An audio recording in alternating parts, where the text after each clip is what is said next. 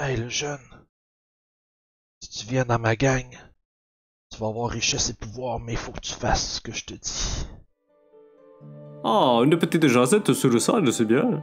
Bienvenue tout le monde. Et, Salut, salut. euh, Salut Vince. je dis bienvenue. Salut, gens à la maison. Bonjour les gens et bienvenue à cette jasette Suicide. Cette semaine, on parle euh, de minions et d'organisation.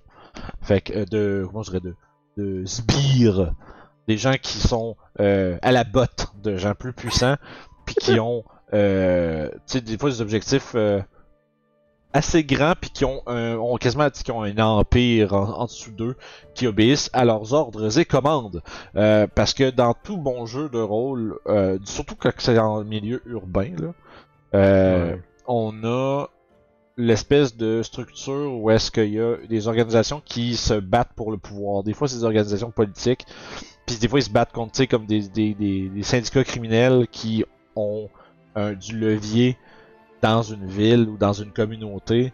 Puis, le, bref, aujourd'hui, on va explorer un peu plus comme comment comment tu rends ça crédible, comment tu rends ça utile dans une game, puis euh, ça peut être euh, ça peut être des véhicules pour quel euh, quel genre de situation par exemple. Parce que euh, je pense que la première affaire qui est importante à identifier quand on se crée une organisation, c'est c'est quoi le but? Pourquoi il y a ça? C'est comme- faire une, une entreprise, finalement. Ben ouais, mais c'est euh, ça. C'est quoi la mission? C'est quoi, quoi l'objectif? C'est quoi la, c'est quoi la mission? Puis c'est quoi l'objectif de cette, de ce groupe-là? La personne qui a parti ça, elle a participé. Tu sais, quand, puis là on recule, on recule pas mal. Sais, faut que tu penses au début. Puis on parle de quand tu crées ton organisation pour qu'elle soit crédible. C'est sûr que t'es pas obligé d'écrire 8 pages, mais te poser la question, ça va t'orienter vers quelque chose de, de, de, de, de crédible. Fait que bref, la personne qui... Oui, vas-y. Quand, quand tu réponds à cette question-là, ça va aussi montrer comment ton organisation euh, a- a- elle fonctionne pour aller vers ce but-là aussi, parce que c'est une psychologie qui est en arrière de ça. Mettons que tu veux, mettons, euh, trouver des, euh, des, des anciens secrets arcanes, puis peu importe le coup. Fait que là, ben, tu vas avoir une réputation d'être fucking sauvage, puis d'aller chercher des, des, des anciens artefacts, des shit comme ça, tu sais. Puis ça va être, euh, puis ça peut être intéressant parce qu'à ce moment-là, donc du bord des joueurs, si tu connais cette organisation-là, puis tu sais que, tu sais, il faut pas aller voler ce qu'ils sont en train de chercher là, parce que ça c'est pas, pas bon, pas bon, faites pas ça. Mais tu sais, le problème c'est qu'après ça, l'objectif c'est, l'objectif des joueurs, ça va être d'aller à un endroit dans une ruine trouver telle affaire, puis se rendre compte que les autres aussi ils cherchent ça en ce moment. C'est comme oh oh, parce qu'il faut pas qu'ils sachent qu'on l'a volé, tu sais. Puis Puis- des fois, tes joueurs, ils savent pas à qui ils ont affaire, fait que là, ils tuent. C'est- Hmm? Ouais, c'est ça, c'est ça, ça, c'est le bout. Euh... Oh oh! Parce que genre le, grou- le groupe tue, puis là ils ont, ah, ils ont tous des symboles, si, ils vont là faire partie d'un gang. Puis là, quand ils montent ça à un autre PNJ, ils font comme, oh, vous avez tué ces gens-là, Eh, vous devez décalisser d'ici. T'sais, Puis ça peut être intéressant, tu sais, ça peut être, euh, tu. Puis bref, c'est important de penser à ces détails-là pour arriver à cette conclusion-là, pour que les joueurs naturellement fassent comme genre, oh oh. Puis c'est- ça devrait jamais être easy de s'embarquer contre une organisation qui est, on va dire, installée, là, qui, qui existe dans, dans votre monde. Là. Euh, ça devrait pas être juste genre euh, un, un gang de rue là, qui sont genre 12 gars avec des chaînes puis des culottes à terre. Là. Tu sais, C'est, c'est, c'est plus gros que ça parce que d'habitude, pour avoir un sta- ce statut-là puis avoir une genre de crainte sociale, faut que ces gens-là soient influents. Parce que tu sais. Oui, vas-y. Mais quoi que des fois, juste ta gang de rue, euh, elle a une influence sur le quartier aussi. Ouais, c'est ça, c'est une faction à plus petite échelle. c'est ça, t'as des grosseurs différentes puis des, euh, des influences différentes, dépendamment de ta grosseur de ton Non, c'est sûr, c'est ça. on parle, on parle, parce qu'on s'imagine, j'imagine depuis le début, c'est comme des organisations plus grosses, mais c'est vrai que tu peux aussi les réduire à plus petite échelle, puis que ce soit comme une douzaine de personnes avec un gars que, tu sais, euh, si tu donnes pas ton protection money, il va venir casser tes fenêtres, puis il va péter, il va péter des jambes à ta fille, puis ça va être ça, tu sais. Tu sais, non, mais tu sais, des gens qui sont fucking vicieux puis méchants, genre.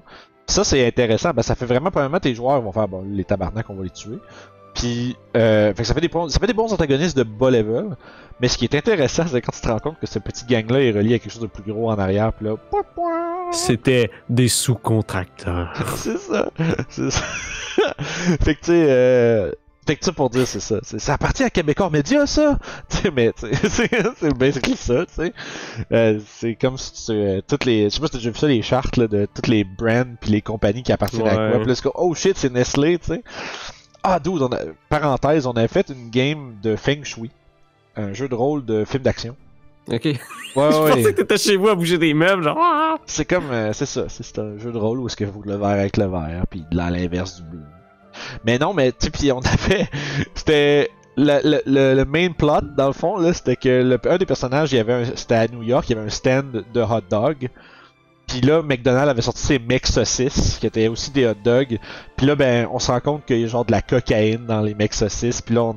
c'était, ouais, je te dis, c'était fucking raide là. Puis tu sais, on, c'était, on s'en va à l'usine de production des mecs saucisses, puis on pète la gueule au manager, puis c'était comme, tu sais, c'était, c'était absolument insane. Mais c'est ça le jeu, en tout cas, bref, Feng Shui, Hey, ça serait une bonne game de Cyberpunk, ça, for real. Mais c'est parce que, c'est ça, tu sais, c'est, euh, mais check ça Feng Shui, euh, deuxième édition, c'est drôle. C'est un drôle de jeu. C'est un jeu où plus tes descriptions sont badass, plus t'as des bonus. Fait que, c'est, c'est, c'est quand même cool. Euh, fait que bref, organisation, que je reparte euh, sur euh, le, le titre il se métamorphose, finalement on parle de Feng Shui. Mais euh, non, c'est ça. Fait que, tu sais, les organisations, souvent, des fois, sont. Même les plus petits groupes sont rattachés à des plus gros groupes. Puis là, c'est là que c'est important que d'identifier comme c'est quoi un minion. C'est quoi un, un sbire ou un henchman ou je sais pas un gars de base, mettons. c'est ça, genre, tu sais. Puis des fois, tu sais, le boss de quelque chose est le minion de quelqu'un d'autre. Fait que, tu sais, il y a toujours une hiérarchie. Puis ça, c'est important de comprendre qui qui est rattaché à quoi. Puis des fois, se faire un petit arbre, puis c'est pas obligé d'être complexe, là. Tu te fais un petit arbre, tu fais des petites lignes de couleurs, puis t'as ton, t'as ton diagramme, puis là, tu sais que quand tes joueurs vont s'affronter contre tel gens, dépendant comment ils règlent leur situation, ça se peut que... Parce que si- s'ils font juste comme l'intimider au point où est-ce que il va un peu comme slacker ses affaires, ça paraîtra pas autant chez ses supérieurs que si tu fais juste le zigouiller. Ouais, Puis- parce que des fois, des fois, ces gens-là, ils ont des jobs à faire, puis si t'es dessus, ben la job est pas faite, fait qu'il y a des choses. Mettons, c'était c'était eux qui devaient distribuer une drogue X dans la place, mais là, l'argent, elle, elle se fait plus. Mais mon cash est où? Ouais, ben c'est quelqu'un qui vient pour collecter, puis là, ben, il y a plus personne, qu'est-ce qui se passe ici? Puis là, qu'est-ce qui va arriver, c'est qu'ils vont juste déployer plus de monde, ils vont déployer du monde plus compétent, puis plus nombreux pour recommencer ce que l'autre qui est, qui est plus là pour faire. Fait que là, tes, tes, tes aventuriers sont comme là, ah ah, on a réglé un problème, on est parti, on a été payé, cool. puis là, c'est comme dans, dans, dans le monde d'aujourd'hui. Ouvre le journal, puis là, ah! C'est rendu rasé au complet parce qu'on voyait comme si tout le monde défonçait à la place. Puis non, ouais, vous avez, vous avez décidé de nous tasser. Ok, ben fuck you. Tu sais, c'est. Ça, c'est ça qui est le fun de jouer avec ce détail-là, parce que souvent, comme maître de jeu, des fois, on n'y pense pas à ces affaires-là. Euh, oui, on a tué le méchant, mais le power struggle, là, le, le power vacuum, là, de. Ces gars-là sont partis, qu'est-ce qui arrive? C'est Ce qui est le fun, avec- euh, même à- ce qui est le fun pour Vincent dans, dans- dans- pour les organisations comme ça, tu peux vraiment y aller à, à l'inverse de ta construction. T'es pas obligé de le faire de bien longtemps. Tu peux juste faire, il y a des dudes, vous trouvez tel symbole, puis après ça, tu peux le déconstruire en envers, faire, ok, eux, ils vont être reliés à ça, puis tu fais ça. Fait que C'est- t'es quand même un bon, euh, une bonne manœuvre de, de, de- de construction en arrière de ça. Oui, parce que la, la des gens en haut arrivera pas tout de suite, de toute Ah façon. non, c'est long, ça, là. Puis, tu sais, euh, moi je dirais les. euh, tu sais, c'est pour ça que tu peux juste avoir, à la limite, ton petit, ton petit cluster, ton premier petit groupe. Puis ensuite de ça, tu. Tu sais, tu tu identifies peut-être vite vite c'est quoi l'organisation at large. Mais après ça, c'est là que c'est fun, entre les sessions, là c'est là que tu dis, ok, qu'est-ce qui va se passer avec ça? Là, tu commences à préparer ça lentement. 4-5 sessions plus tard, un assassin! non mais 4-5 sessions plus tard, il y a quelque chose qui arrive, puis genre... Il y en a un qui se fait piquer dans la nuit, puis euh, tu sais là, oups, pourquoi, tu sais? Puis là, ça, ça part une nouvelle narrative complètement, mais sauf que ce qui est fun, c'est que si tu pars de quelque chose, tu t'en vas par là, puis à un moment tu fais hop, sais, tes joueurs se font comme un peu ramener, là. Ouais, parce c'est comme que- une corde euh, qui, te, re- qui te relie à eux, là. Ouais, exact. Puis tu sais, c'est, euh, je pense que c'est important de faire des choses comme ça parce que ça met un peu de la vie sur les conséquences de ce qu'ils ont fait. Puis moi, j'aime, je le fais pas assez là, mais j'aimerais ça que, tu sais, comme on parlait tantôt, quand tu torches, parce que quand tu torches quelque chose comme des mafieux, on va dire, qui contrôlent une région ou une place là, euh, je veux dire, ça change la dynamique de qu'est-ce qui se passe à cet endroit-là pendant un bout. là.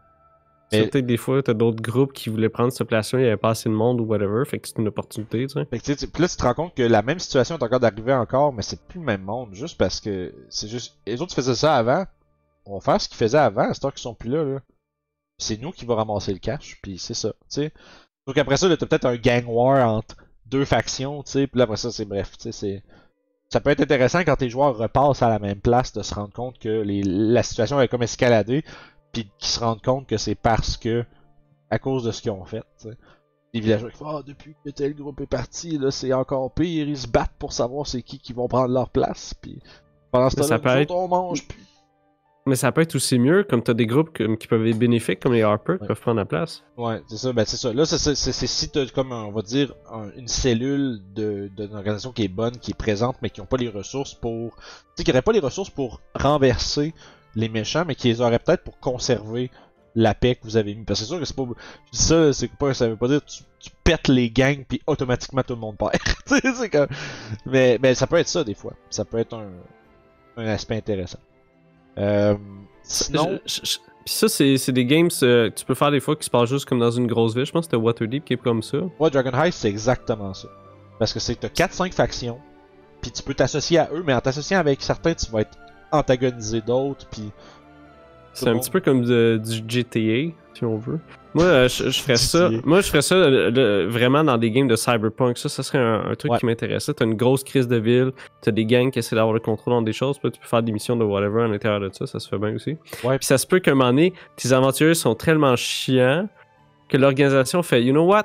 Je vais les payer pour qu'ils me foutent la paix. Ouais, parce que j'ai essayé trois fois là, des, arrêts, des, des, des arrêter en les tuant, puis je suis pas capable, fait que je suis aussi bien essayer de m'arranger de les mettre dans ma poche, puis fuck off, tu sais. Ça, ça peut Si être... avec... Ben oui, t'arrives avec tes aventuriers, on va vous payer 50 000$ piastres pour que vous venez plus jamais ici. Puis il faut comme...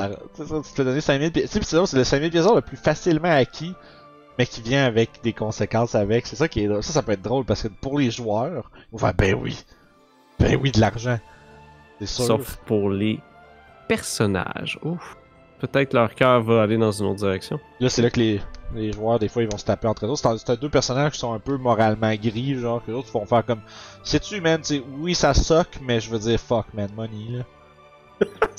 non, mais c'est vrai, tu sais, parce que tu te dis, garde, je, vais- je vais regarder ailleurs, mais parce que tu peux pas, tu peux pas cracher ces 5000 pièces d'or, là.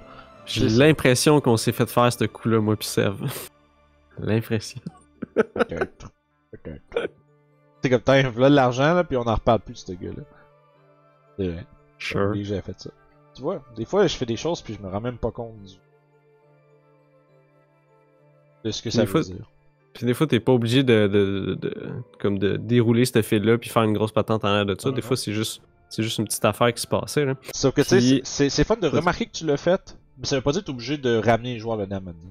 Ça peut être le fun qu'ils se rendent compte que, oh, tel gars, genre, il est rendu telle place, il était pas supposé se faire arrêter, ce gars-là, finalement, là, ah, tabarnak, il est avec eux autres, pis genre, tu sais, c'est... Faire comme... Ça peut être drôle. Ça permet de faire des payoffs comme à, à long terme, Non, vraiment. des games c'est plus ça. loin. Puis on peut Puis- parler aussi des, des minions de d'autres races que d'humains. C'est vrai, comme, tu sais, vraiment qu'ils sont... On va dire, c'est vraiment de la chair à canon, eux autres, par exemple. Pis c'est vraiment... euh, c'est des créatures ou des personnes qui vont obéir à une puissance plus forte juste parce que... Tu vois, parce que ils espèrent se faire donner une fraction de leur, leur puissance ou de leur argent. Ou euh, ils ont juste peur de ce qui va leur arriver s'ils obéissent pas. Tu sais, meilleur exemple, comme on en parlait avant, c'est les kobolds, sais, les kobolds, t'as même pas besoin de... T'as le classique, le dragon, les kobolds, mais ça peut pas d'être un dragon, là. ça peut être juste genre un gros ogre, là. Puis quand il est fâché, il en mange une coupe. Puis le bon, ben, on va y- faut qu'on y amène de la bouffe, sinon il nous mange. Tu sais, ça peut être juste ça. Puis là, Ça une- fait- ça, ça peut être la base, la base d'une aventure level 1, ça. Hein. Juste plein de petits kobolds qui volent de la bouffe à un village, tu te rends compte pour nourrir un ogre parce que sinon il les mange. Puis peut-être qu'il a l'occasion de convaincre une couple de kobolds qui vous seriez pas mieux s'il serait pas là, lui, au fond. Là. Votre- Parce que des fois, ils ont même pas eu l'idée. Parce que c'est dans leur culture d'être comme ça. Surtout les kobolds, ça a comme existé pour servir les dragons. Je pense que c'est Tiamat qui a fait ça. Ouais, c'est vraiment drôle parce que secrètement dans leur tête, ils pensent qu'ils sont dus pour être quelque chose de plus gros. si on va servir maintenant, mais un jour. Tu sais, pis c'est genre, finalement, le jour vient jamais parce que ça meurt après genre deux semaines, ces affaires-là. Hmm. Mais, euh, tu sais, ça peut être des, ça peut être des idées comme ça, pis là, tu t'en fais comme rendre compte que, tu te rends compte que ton existence au complet, c'est de nourrir ce gros, ce gros mangeur de merde-là. là. C'est Juste pour ça que t'existes en ce moment. Ce serait pas mieux s'il serait pas là. Ah ouais, c'est vrai. Tu sais, pis ça peut être ça, tu sais, ça... C'est comme, ah ouais, ah ben Puis oui. il s'essaye, puis il se fait smack, puis les autres font comme nope. Ben c'est ça, pis c'est pour ça que ça arrive jamais, mais c'est pour c'est pour ça que tes aventures, fait, regarde, nous autres, on va vous, on va vous débarrasser de ça, là. Puis après ça, vous autres, vous crissez votre camp, puis vous sacrez votre camp au village. Tu sais, vous faites, ça, ça peut être une façon de dealer avec les kobolds sans être, sans juste faire comme, haha, vous avez 5 points de vie, je vous one-shot toute la gang. Puis Mais ça peut être aussi drôle de faire ça aussi. Qui ne, qui n'a pas eu de plaisir à une bonne, euh, crisser une volée à une bande de kobolds? C'est Dans des mines? C'est dangereux dans les mines, par exemple. Ouais, mais ça, c'est. Mais c'est- en fait, c'est- le Ah, kobold lui-même est pas dangereux. Mais les, les pièges qu'il fait. Mais bref, ça ramène au. Ça, parlant de pièges puis de trucs comme ça, c'est ça, ça. Les minions représentent aussi beaucoup qu'est-ce que le maître est, tu sais. Tu sais, comme les kobolds sont bien smart, mais s'ils travaillent pour. Ils sont, sont, sont pas smart, ils sont rusés. Mais est- est-ce qu'ils peuvent. Tu sais, s'ils travaillent pour un ogre, ils auront pas le même genre d'espèce de. de. Comment je dirais, de cohésion que s'ils travaillent genre pour un dragon intelligent en arrière qui fait. hmm, qui place ses pions bonne place, pis tout le kit. Puis, tu sais, peut-être que les kobolds font pas autant de pièges si leur maître est un peu stupide, tu sais. Parce que, tu sais, ils vont, ils, vont, ils vont faire des petits pièges pour eux autres, mais souvent, c'est qu'ils ont quelque chose de plus gros en arrière qui leur dit quoi faire. Puis, mais, puis- Il exemple, dit les pièges pour les. les, les, euh, c'est pour les choses faibles. Hmm. Ouais, c'est ça, genre, comme, ah, arrêtez ça avec vos petites cochonneries, là. T'as juste besoin d'un gros club, bro. Pas besoin de Ouais, pièges. Fait que, tu sais, euh, je pense qu'à un certain niveau, les minions devraient représenter leur maître, quand même, là. Parce qu'un maître intelligent va s'assurer que ses, ses, euh, que ses sbires soient bien entourés, soient bien euh, guidés un peu, là. Qu'il y ait une organisation. Il va peut-être spotter le kobold un peu plus intelligent de la gang, faire, toi, c'est rendu toi le boss. Puis genre, puis il dit aux autres, lui, là, c'est votre boss, vous l'écoutez, sinon je vous mange à partir de là, tu as celui qui est un peu plus intelligent qui est à la tête du reste, puis t'as une organisation, bref, qui se crée comme ça. Puis euh, ça peut rendre de quoi, ça peut rendre ça intéressant, où est-ce que t'as un boss, pas le boss, mais un, un, un petit chef, on va dire, un, officier. Tu sais, que lui, il sauve quand, que, quand gars, ces gars se font clencher par les aventuriers, tu sais. Puis il va rapporter à son boss, puis non, non, non, tu sais, bref. Les organisations, là, je pense que la plus grosse affaire à se rappeler quand on s'en sert, in-game, les amis, c'est euh, penser aux relations entre les choses. C'est quoi, c'est quoi que ça implique qu'une personne soit plus là? C'est quoi que ça implique? Qui sait que cette personne-là va aller avertir si elle se sauve? Euh, ça va être quoi la force de représailles de ces gens-là? Est-ce que c'est quelque chose qui va faire comme, bah, on va se réinstaller puis tant pis? Puis, ou est-ce que c'est genre, le peut-être que le chef ou le maître de ça est crissement rancunier puis il va courir après le monde qui l'ont fait chier même un tout petit peu, là. Puis souvent, c'est dans les organisations un peu style criminel, ça c'est genre important parce que la réputation, tu sais, tu te dis si tu me. Tu sais, si je te laisse du monde me faire me pincer puis ils s'en vont puis je fais rien, tout, le Eh monde, ben oui. tout le monde va te pincer, là. Pis tandis que tu sais, la, la moindre petite affaire, tu te fais, oh, mais c'est pour ça que des fois tu te dis genre, ouais, c'est pas un peu excessif comme réponse, me semble, pour ce qu'ils ont fait. Tu fais, oui, mais si je fais pas ça, les autres vont le faire aussi. Si les autres le font aussi, ça va devenir un problème. Ça, c'est intéressant. J'aime- J'aimerais ça avoir des joueurs, mais comme des joueurs alignement mauvais, là, mais qui sont dans ce genre de structure-là. Puis, tu ou alignement, on va dire, neutre, penchant mauvais un peu, puis que leur boss leur fait comme un peu peut-être traverser leur propre ligne, tu. Puis qu'il y a un joueur qui fait Ouais, on est-tu vraiment obligé de faire ça? Puis que là, il sort l'espèce de la cravate, puis la loi du silence.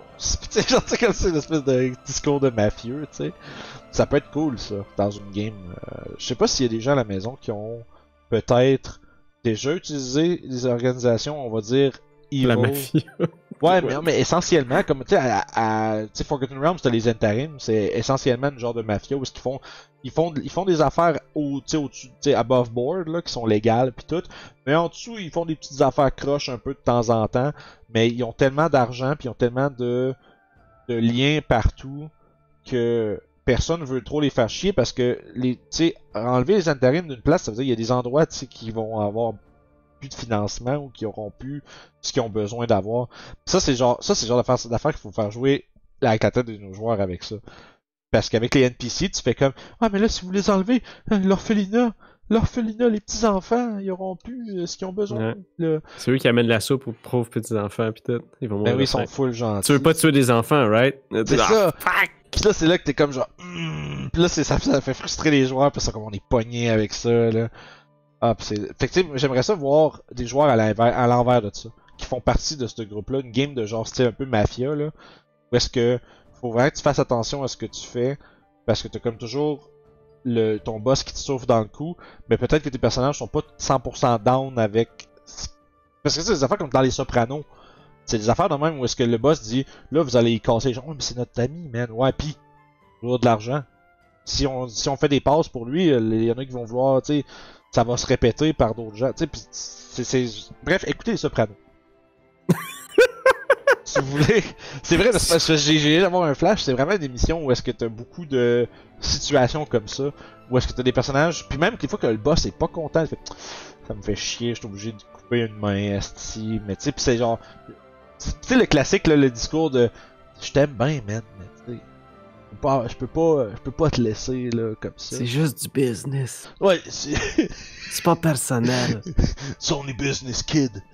Mais tu sais, bref, je pense que c'est le genre de référence là que vous pouvez vous inspirer pour utiliser pour créer vos, vos organisations criminelles parce que ça reste que c'est comment je dirais, je- je- j'essaie de pas paraître comme si je savais exactement trop de quoi je parle dans le sens où je suis comme je suis pas un prophète. Non mais je suis pas un Faut professeur. pas de- que la police qui écoute vienne chez Non, mais je veux dire, je suis pas, je suis pas un pas trop, fucking professeur de sociologie, là, je le sais pas exactement, mais j'ai l'impression, par exemple, que c'est, c'est intéressant l'aspect comme gris de il faut que je fasse des choses pour préserver mon ma dominance sur l'endroit, mais ça me fait chier de le faire parce que si, j'aimerais ça pas le faire, mais si tu le fais pas.